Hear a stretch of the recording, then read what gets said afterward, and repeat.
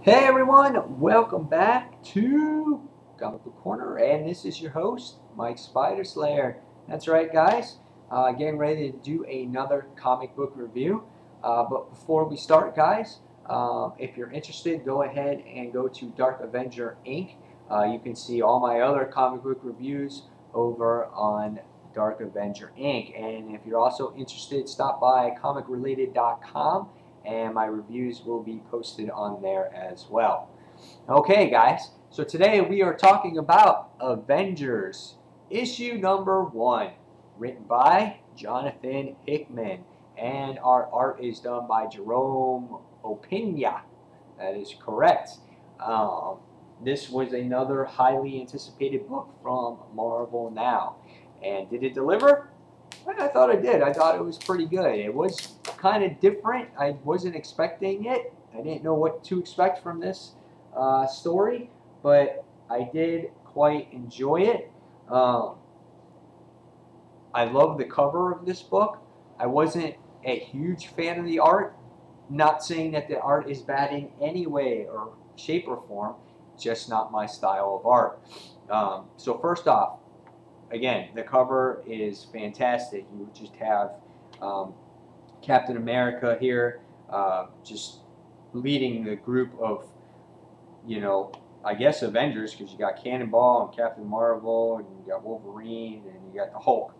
Um, so uh, that's pretty cool right there. And then if you go inside the book for interior arts, uh, here we have a nice page here. It's like almost like uh, painted art. It's pretty pretty cool in a way. Um, I thought the art at some points were really, really awesome. The was really, really cool. And at other points, I was kind of like, I was questioning myself about it. So for me, it was uh, inconsistent uh, when it came to certain characters of that nature. Um, and again, it's not my favorite style of art, but not saying that it's bad in any way. Um, next, we have another page here uh, we can see like spaceships and people like Thor and Hawkeye looking up, and you got like Iron Man armor just laying on the ground there, which is pretty neat. And then you have another cool page, which it's like like the holy grail for the Avengers or something. It kind of you see like the Avengers round table there, and you have like it is. It's like the Knights of the Round Table. You got the Avengers table there, and then you got little dots of what everything is representing. And you see Captain America's little star as like the main, um, the main Avenger there, which is pretty neat to see. Um, so yeah, that that's your glance of some of the interior art. Um, again, the book was a nice story, uh, very interesting, and again, I wasn't expecting. I don't know. Again, I don't know what I was expecting. So as we go through the walkthrough here, it just says previously in Avengers, and you're like, okay, here we go. And then you just come up to this like black panel, and you're like, oh, okay. And it says there was nothing, and you're like, okay. And then it just says followed by everything, and it just it just keeps saying, you know, life is giving us surrounded by suns, and then the next thing you see is you got this life that's being created on uh, on Mars, out of all places and Mars is being filled with tons of vegetation and all kinds of crazy stuff, uh, which is pretty cool. Now, the character that um, has created this life on Mars, his name was Ex Nihilo, and that's this gentleman right here with the horns. He's like a buffed up Loki, you know. That's kind of what it looks like, and um, and then you see like there's this mass destruction and war and chaos and like I said you saw these like Iron Man armors here on the bottom so which was pretty weird too. And then it, it just you can see that it says and it all started with two men. And then you got Tony Stark um, looking here and he's looking at that Knights of the Round Table that I was talking about. And you can see that there's the Avengers and then there's the core group um, that surrounds it. Um, but we can see that Tony Stark gets up Steve Rogers here, and he's like, everything okay? And he's like, oh, nightmare. And then you see like these characters right here. And uh, he's just saying that, you know, everything has to get bigger. We have to get bigger. We have to expand. And the next thing you see is you see Mars at one month later. And Ex Nihilo here is just has created this life on Mars and he's kind of weird looking character here. Looks like he's got like an eyeball up here and got some horns and all kinds of crazy stuff like that. And um, the next thing we see is you see this one chick, her name is Abyss. She's involved in the whole thing. And we have this other robot guy. Um, I'm trying to realize his name. I forgot his name too, but he's pretty big looking robot, and you'll see that later in the issue. And he just says the apes are coming. And what we see now is we see the Avengers are coming to Mars to take out this guy and Ex Nihilo. And this is where, I don't know, I didn't find the art bad, but in certain places I was just like, it wasn't that great either. Like, I'm not a fan of, of the Hulk looking like this. That's just, again, that's my opinion and uh, he kind of looks like some dumbfounded troll or something. And uh, and then you got Captain America running here, and he just looked like his face. It's just like sticking out way too far over his body. It looks like his body's like in a distance. So I, I don't know. I just didn't. I didn't. wasn't fond of certain areas of the artwork. And they're fighting all these guys, and Hulk gets captured.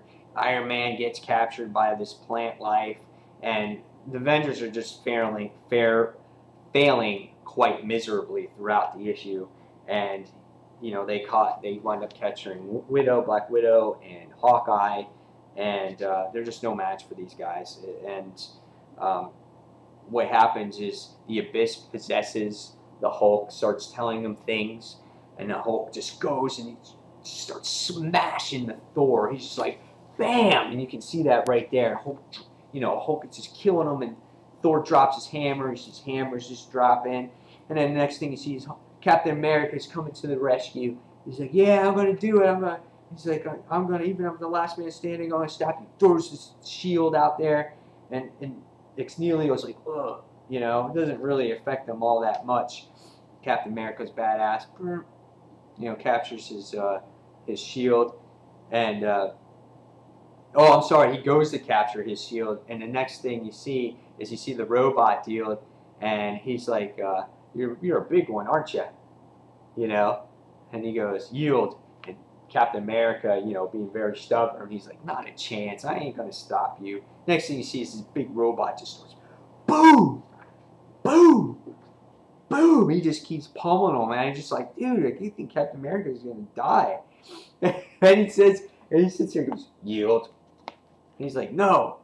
and he's just really getting pounded. And then Ex Nihilo kind of holds his hand and he's like telling them to stop. They put him on this ship, takes off the ship, ship starts crashing down to Earth. Uh, Captain America starts falling to the ground, and the next thing you see, three days later, he's waking up in the hospital. He was just destroyed, and you can see Ex trying to figure out what to do with uh, all the other guys, and he's like, "This is the best that they have to offer, which is nothing," you know. Steve Rogers going up, goes to that Holy Grail. Again, you can see the Avengers, the lights here, which that surrounds it. Kind of looks like an arc reactor in a way too. And um, he's thinking, and he makes this call, and he's like, "We have to get bigger." And it says when he clicks on it, it says "Wakes the World," and you see all these miscellaneous heroes that are coming awake and you know going to be part of the extended uh, extended Avengers team, and we have Captain America here getting in his, uh, I guess, his new gear, and uh, I like that scene. I really like that. You know, you see him slowly putting it on, getting ready. You can almost hear like the background music, um, you know, in the background while he's getting ready to do battle here, and um, it's really cool. And he says, "We are the Avengers." and uh, you can see all the characters in the background of who's joining up with him and you can see a whole bunch of miscellaneous characters like Spider-Woman, Cannonball, Spider-Man. Uh, I don't know how he really fits in the whole thing. Captain Marvel, Wolverine, and, and some other characters too. And again, you can see on this last page it says "Wake the World," and you have what was on that computer screen.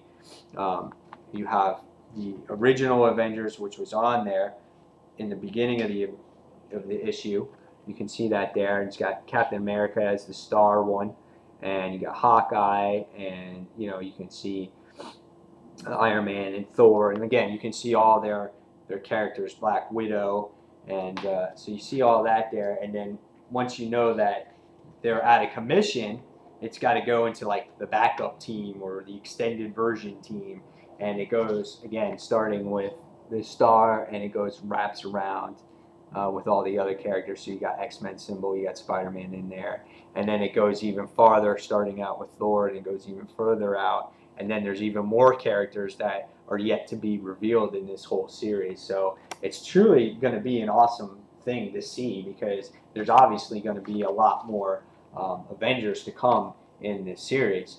Uh, so yeah, that's the end of the issue. Uh, Captain America stepping up to the plate, which is really cool to see. He's got to get these new extended Avengers out there and bail out his buddies from Mars and see how he's going to take down Ex Nihilo. So really cool issue, nice story. Um, at first, I wasn't really at all keen on the art, but it kind of grew on me a little bit as the time went on. Had some really great panels on there, and uh, so I, for me, I'm going to give the art like a three and a half, maybe four out of five and then uh, the overall story was a five. So I'm going to give the book a four out of five. So this is definitely a great book to read. It's a great story, and uh, I'm definitely looking forward to the second issue of Avengers.